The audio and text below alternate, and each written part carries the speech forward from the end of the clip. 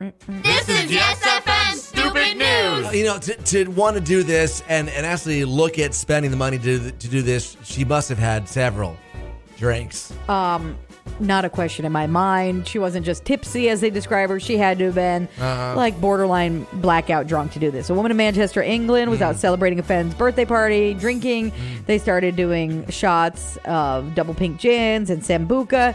Then she decided she was going to get a taxi and drive to the Ukraine to help with the efforts there. Uh-huh. She got reached out to Uber. They estimated it would cost about six thousand bucks. Uh-huh. But she was turned down because her bank account had insufficient funds to cover the six thousand dollar Uber ride. Yeah. Uber tried to take the money nine times Uh-huh. and said none of them were successfully done, and Yeah. uh, they were investigating to see Yeah. what happened and if the woman's okay.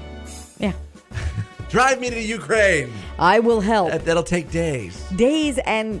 Can you imagine, like, when you wake up, because you know you're going to pass out in a car ride like that, wake up, where are we going? What are we doing? And I spent how much money? Exactly. Oh.